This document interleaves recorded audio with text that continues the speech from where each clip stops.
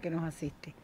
Bien, en las últimas 24 horas de las 432 muestras recibidas, 58 de ellas fueron positivas, pertenecientes a los municipios Bayamo 41, Manzanillo 5, Cautocristo 3, Niquero 3, Jiguaní 2 y Pilón y Bartolomé Mazó con uno cada uno. Hoy tenemos ingresados 2.683 pacientes, de ellos confirmados activos dentro de la provincia 460, confirmados activos fuera de la provincia 60, sospechosos 384 y contactos 1.779. La provincia acumula ya un total de casos confirmados de 2.400, de ellos 2.261 autóctonos y 136 viajeros. Y en la edad pediátrica arribamos ya a la cifra de 339 personas. En las últimas 24 horas se dieron 374 altas y ya tenemos recuperados 1.940 pacientes. Hoy tenemos 60 pacientes en las salas de vigilancia intensiva del Hospital Celia Sánchez Manduley y tenemos un caso eh, grave, estable en Santiago de Cuba y no tenemos casos críticos reportados en el día de hoy. Esa es la situación hoy eh, epidemiológica de acá de la provincia. Yo les invito a los televidentes a reflexionar en todas estas cifras que la doctora diariamente da a conocer en nuestro programa. No son solo cifras, va más allá si usted se pone a pensar en que 2.400 personas en Granma han eh, sufrido de una u otra manera el trauma de la COVID-19. Toda enfermedad, según los especialistas, genera un trauma en la persona. Hemos tenido la posibilidad de conversar con aquellos que han sido sospechosos o positivos a la COVID-19 y muchos coinciden en que el trauma psicológico que genera la enfermedad es uno de los elementos más dañinos que tiene, además de los efectos colaterales y de las eh, afecciones que puede dejar durante varios meses este tipo de enfermedad como es la COVID-19. Ahora, doctora, 60 pacientes en vigilancia intensiva en la provincia de Granma. Ya usted ha explicado en otros momentos en el programa lo que significa vigilancia intensiva. Un paciente grave. ¿Pudiera darnos detalles de este paciente grave y además estas personas que están en vigilancia intensiva? Eh, bien, estas personas que están en vigilancia intensiva son personas sospechosas de alto riesgo. Es decir, son personas que aún no han sido confirmadas, pero son sospechosos de alto riesgo por la edad fundamentalmente de los pacientes y por la morbilidad que tienen asociada.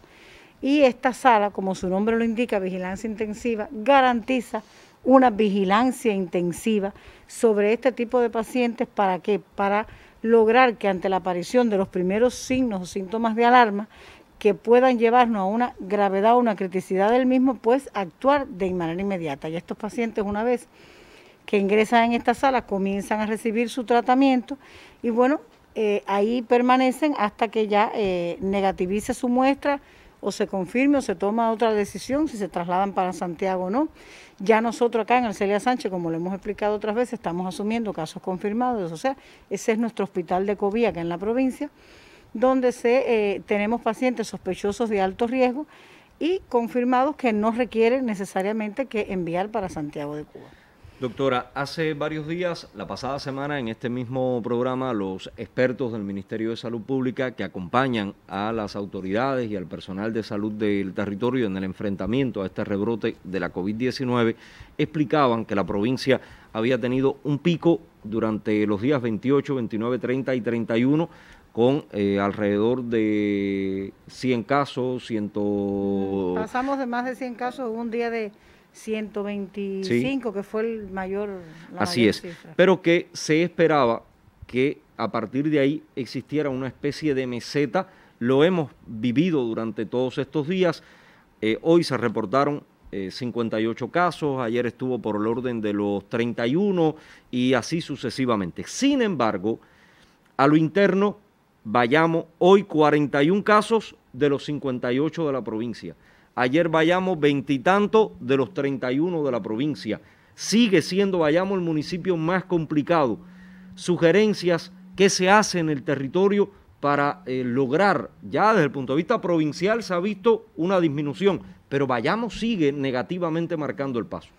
Así es, Yunel. Eh, yo quiero hacer un llamado a la población a que no nos dejemos engañar por las cifras y que en estos momentos tener confianza en que estamos mejorando, en que estamos bien, es muy peligroso. E, es cierto que nos hemos mantenido oscilando en una cifra entre 50, 60, llevamos varios días 40, 50, 60 por ahí. Pero eso no significa que esté el problema resuelto y que estemos ya en la provincia llegando a una disminución franca de los casos o que estemos cerca ya de erradicar la COVID en la provincia, para nada. La situación sigue siendo complicada epidemiológicamente, sigue siendo, sí, seguimos teniendo transmisión del virus, sigue siendo el municipio Bayamo hoy el, epicentro de esta situación en la provincia y fundamentalmente las dos áreas de salud que reiteradamente hemos dicho aquí, René Vallejo y, y Bayamo Este, son las, son las áreas de salud de mayor población y mayor población concentrada lo cual hace eh, también un poco más difícil el control de esta enfermedad.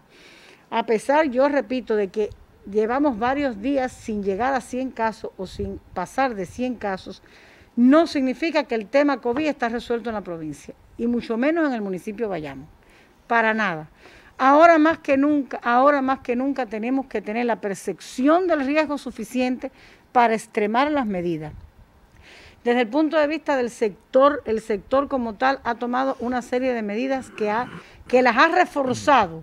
No es que, no es que hayamos, hayamos tomado nuevas medidas, no, las medidas que están, las medidas de siempre para este control, que son las mismas, las hemos reforzado. ¿Reforzado con qué? Con el control.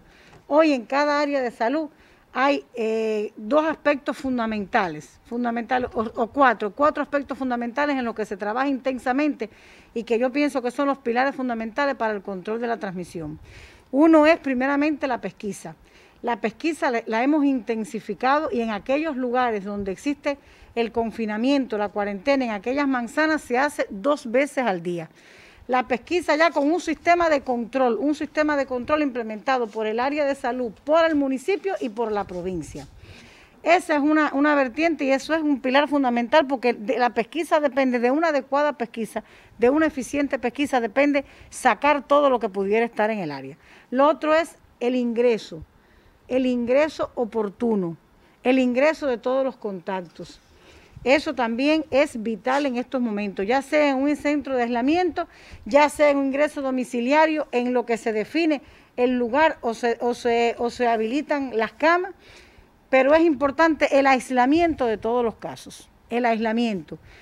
Lo tercero es la investigación epidemiológica. Miren, cada vez que nosotros tenemos un caso sospechoso, ya cuando un caso sospechoso hay mucha probabilidad, porque además el porciento es elevado, de convertirse en confirmado. En ese caso es imprescindible, se hace estrictamente necesario hacer una adecuada investigación epidemiológica detectando todos los contactos, que no se nos quede ningún contacto, todos los contactos de ese caso, hay que aportar todos los contactos. Miren, la tendencia en estos últimos días que hemos visto es a ir disminuyendo el número de contactos que los casos declaran cuando se detectan como sospechosos o como confirmados. Y fíjense, no nos vamos a llamar a engaño, nos, engañamos nosotros mismos cuando le ocultamos a, a las autoridades sanitarias los verdaderos contactos que yo como paciente he tenido. Si realmente yo aprecio a una persona, si la considero, si la quiero, en estos momentos, como yo se lo demuestro, es diciendo, declarando que es cierto que fue un contacto mío, que estoy hoy enfermo, para que a tiempo se pueda hacer una acción sobre esa persona. Entonces, lo que estamos viendo, la, tendencia ha sido a, ir un poco a la disminución de estos contactos. Y esto es clave, la detección de todos los contactos, que parte de esa investigación epidemiológica. Muchas veces, doctora, para evitar que ingresen a esa otra persona, porque el que es contacto va aislado, ¿es así? Exactamente. Y realmente eso es lo, lo único que va a hacer que la transmisión realmente eh, eh, disminuir la cadena de transmisión y lograr una contención de la epidemia es el aislamiento oportuno, es la detención temprana y el aislamiento oportuno de los casos. Y la cuarta parte es la inspección sanitaria estatal, que también se está reforzando las medidas, la exigencia sanitaria, la exigencia sanitaria en las instituciones de trabajo, en la, en, la vía pública, en, en, en la escuela, es decir, todo lo que hoy constituya una violación de las normas que están ya bien establecidas para lograr el control de la epidemia, hoy lleva una exigencia sanitaria y lleva, bueno, la aplicación del decreto ley. Doctora, agradecerle una vez más su presencia en el programa con todas estas valoraciones, con este tipo de reflexión para compartir con los televidentes que están a esta hora con nosotros. Y usted hablaba de que uno de los elementos fundamentales es la detección a tiempo a partir de la pesquisa. Yo quiero aprovechar el programa para atendiendo algunos mensajes que han llegado bueno, eh, en el reparto Ciro Redondo, una de las zonas complicadas también y pertenece al área de salud del Policlínico René Vallejo, nos llegaba un mensaje.